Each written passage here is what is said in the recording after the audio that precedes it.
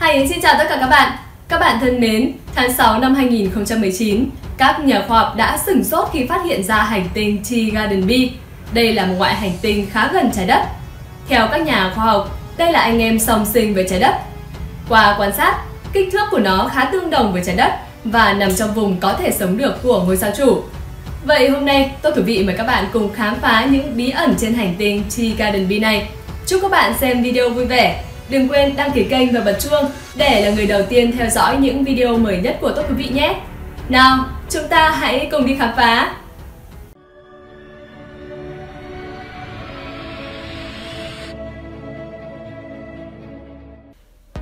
Vũ trụ là một không gian vô cùng rộng lớn mà con người khó có thể tưởng tượng ra được. Theo đó, trong vũ trụ có hàng tỷ thiên hà, trong mỗi thiên hà có hàng trăm tỷ ngôi sao và trong mỗi ngôi sao có thể có các hành tinh xoay quanh nó. Chỉ xét riêng mỗi thiên hà Milky Way chứa hệ mặt trời của chúng ta thì đã có khoảng từ 200 đến 400 tỷ ngôi sao.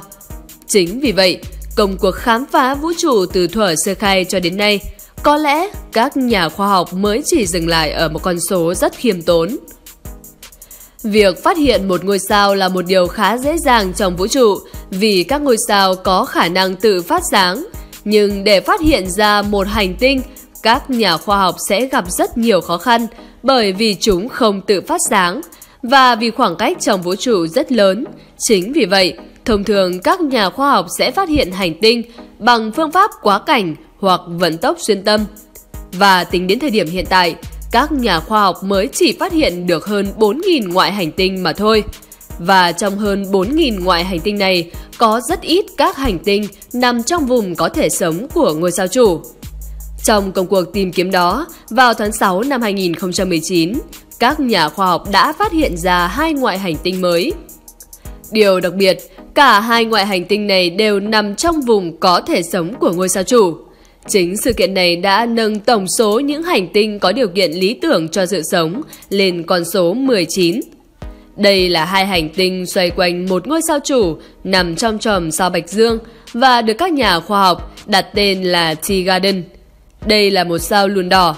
Theo ước tính, nó cách trái đất khoảng 12,5 năm ánh sáng.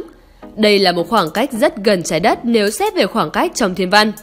Nhưng nó cũng là thách thức với nhân loại – vì nếu tính ra km thì nó vào khoảng 118.750 tỷ km. Với khoảng cách này, với khoa học hiện tại có lẽ chúng ta cũng chỉ biết đứng từ xa để quan sát và chiêm ngưỡng nó. Qua quan sát ban đầu, hai hành tinh này rất giống với các hành tinh đất đá trong hệ mặt trời của chúng ta. Một trong số đó có thể nói là phiên bản 2.0 của trái đất, bởi vì nó có kích thước và khối lượng tương đồng với trái đất. Và điều đặc biệt là nó nằm trong vùng có thể sống được của ngôi sao chủ. Và nó được các nhà khoa học đặt tên là hành tinh T Garden B và T Garden C. Và bây giờ chúng ta cùng đi khám phá xem trên hai hành tinh này có điều gì bí ẩn. Với T Garden B, đây là hành tinh trong cùng của ngôi sao chủ. Nó có 60% cơ hội có môi trường bề mặt ôn đới, có nhiệt độ khoảng từ 0 đến 50 độ C thậm chí là ngưỡng 28 độ C. Theo các nhà khoa học, tính đến thời điểm tháng 7 năm 2019, Chi Garden B là một trong bốn hành tinh dễ sống nhất từng được phát hiện. Theo tính toán, chỉ số tương đồng trái đất của hành tinh đạt 0,95 điểm. Như các bạn đã biết, chỉ số tương đồng trái đất của một ngoại hành tinh hay còn được gọi tắt là chỉ số ESI. Đây là một đặc tính của một hành tinh được đề xuất nó được thiết kế theo tỷ lệ từ 0 đến 1, với trái đất có giá trị là 1. Chỉ số này giúp các nhà khoa học so sánh sự tương đồng của các ngoại hành tinh với trái đất của chúng ta. Chính vì vậy, với T Garden B đạt điểm số 0,95 thì quả thật trong mắt các nhà khoa học đây là một hành tinh vô cùng giống trái đất. Mặc dù kết luận này chưa đồng nghĩa với việc T Garden B thực sự có thể là nơi con người ở được, nhưng theo giới thiên văn, đó là một phát hiện đầy hứa hẹn trong tương lai để con người có thể hy vọng về nó. Qua quan sát, đây là một hành tinh quay quanh sao lùn đỏ loại mờ. Nó nằm cách ngôi sao chủ một khoảng cách khá gần, đó là 0,0252 AU.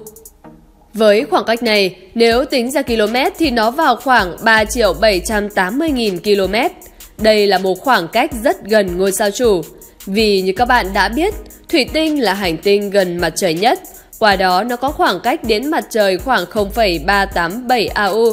Với khoảng cách này, nếu so sánh với Tea Garden B thì nó lớn gấp hơn 15 lần khoảng cách từ Tea Garden B đến ngôi sao chủ.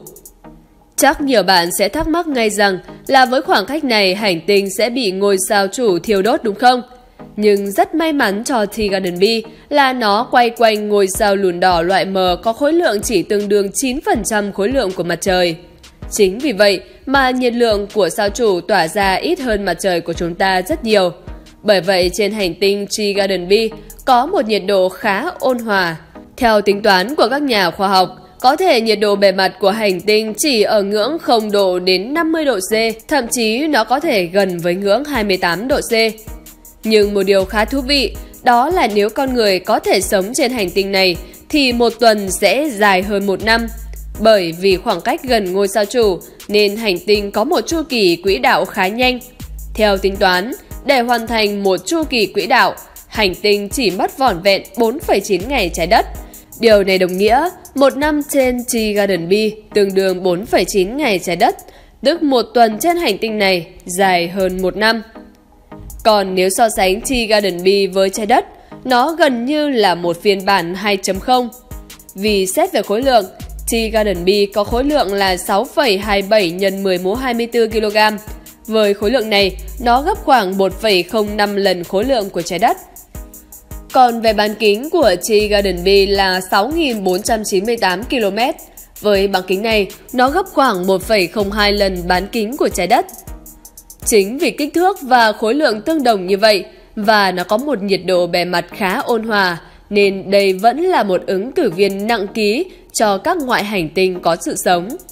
Nhưng một điều đáng tiếc là nó nằm ở vị trí khá xa, cách trái đất của chúng ta khoảng 12,5 năm ánh sáng, nên việc quan sát và phân tích bầu khí quyển của hành tinh vẫn gặp rất nhiều khó khăn với các nhà khoa học hiện tại.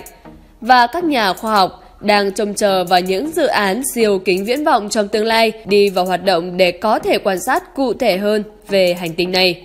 Còn theo quan điểm của các bạn thì sao? Liệu trên hành tinh Chi Garden B này có tồn tại sự sống hay không? Hãy comment bình luận của mình bên dưới video để chia sẻ cùng mọi người nhé! Tiếp theo, chúng ta đi đến hành tinh Chi Garden C. Đây cũng là một hành tinh kiểu đất đá giống trái đất và nó cũng là một ứng cử viên nặng ký cho ngoại hành tinh có điều kiện lý tưởng của sự sống.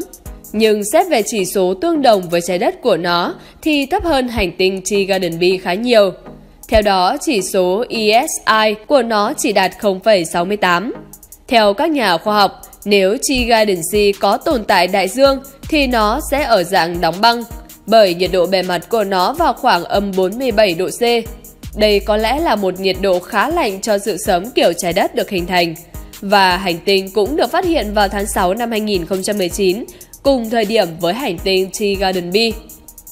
Qua quan sát, thì khoảng cách của T Garden C đến ngôi sao chủ là khoảng 0,0443 AU. Đây cũng là một khoảng cách khá gần ngôi sao chủ. Nếu tính ra km, thì nó vào khoảng 6 triệu 645 nghìn km.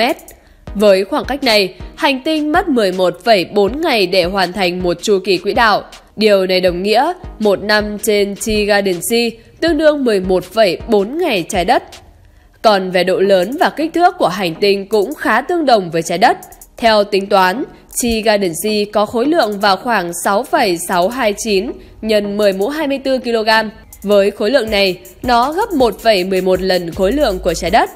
Còn về bán kính của Chi Garden Sea là 6.626 km. Với bán kính này, nó gấp khoảng 1,04 lần bán kính trái đất. Và tất nhiên, với Chi Garden vẫn cần thêm thời gian để các nhà khoa học quan sát và phân tích về hành tinh này trước khi đưa ra khẳng định rằng nó có phù hợp với sự sống hay không.